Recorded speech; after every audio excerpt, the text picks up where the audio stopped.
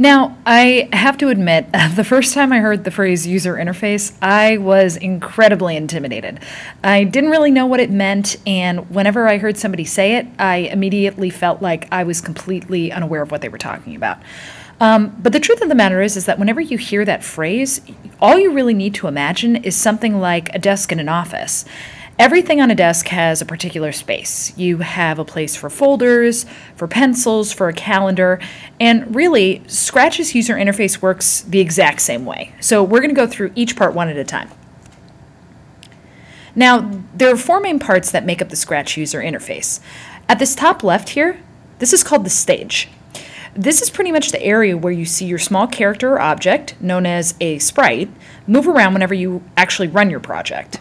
An example of a project you might see here would be something like this. Or maybe something like this. This is something we'll get into later though when you actually start putting together your own project. Now, one of the features of the stage that I actually absolutely adore is the ability to enter full screen mode.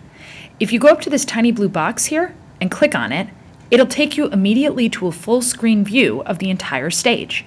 This way, you don't get distracted by everything else that's on the screen. You can literally just focus on watching your project run and figure out what it is that you want to or not want to change. Now to get back into regular view, all you have to do is again, click the blue box, and it takes you back. Now, to the bottom left-hand corner, this down here is what we call the sprite list. Now the sprite list is where each of your sprites shows up and you can go ahead and manipulate the sprite according to what you need. Right now, we only have Scratch Cat. Um, we're just going to stick with one sprite for now, but it's cool because you can actually go ahead and add more than one sprite. We'll get to that a little bit later though, so we're just going to move on to the rest of the user interface. Now in the middle here, this is what we call the blocks palette. Um, the other guide, Eric, is going to explain this metaphor a little bit more, but if you had to compare the blocks to something, you'd probably say they're sort of like pieces of a puzzle that you go ahead and fit together. Each of these blocks refers to a different command that you will use to design your project.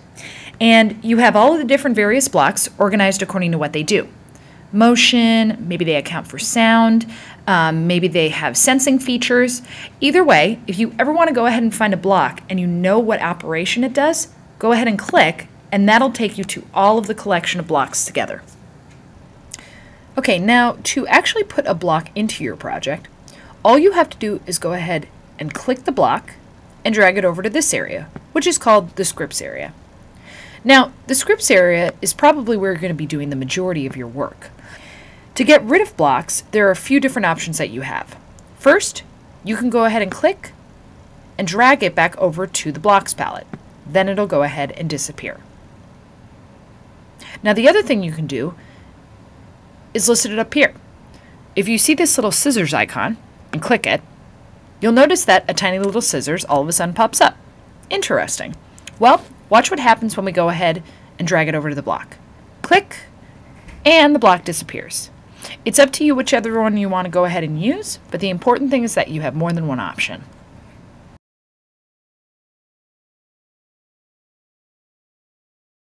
Now, one of my personal favorite parts of Scratch is right up here in the middle. This is what we call the cursor tools, and you can use them to make all of the parts of your Scratch life just a little bit easier. For starters, this stamp icon can be used to duplicate items, like a sprite or a block. Let's check it out. There you go. Two cats at once. You can do the same thing actually with a block. If you hit your stamp and go ahead and click, boom, you have two blocks at once.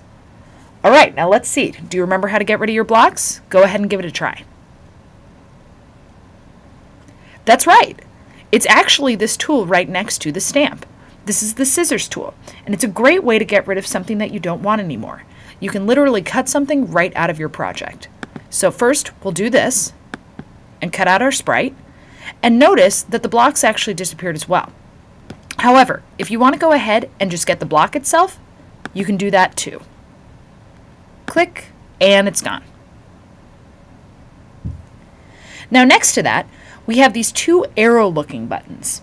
Now, these are interesting because they actually allow you to make your sprite bigger or smaller. So, we have our sprite right here. Let's go ahead and click this first button. Notice we're making our sprite a little bit bigger every time we click. Let's go to the one to the right of it. Now our sprite is getting a little bit smaller.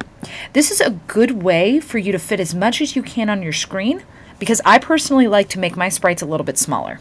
That way I can sort of have a little party going on and there's always room for as many sprites as I want to bring.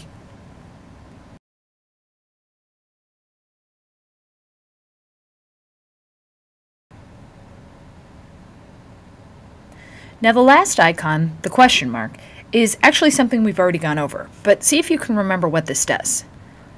Click it, and then what happens now? Very good.